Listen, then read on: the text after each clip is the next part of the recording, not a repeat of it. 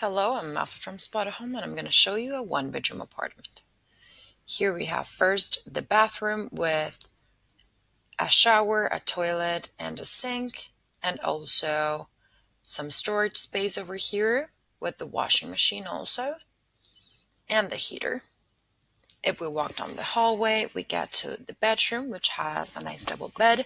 So you can see there's air conditioning and a very big closet where you can put all the things that you need. And here we have the living room with a nice dining table and also a cozy couch in front of a TV and also an equipped kitchen with a coffee maker, an oven, a fridge, a freezer, dishwasher, and anything that you might need.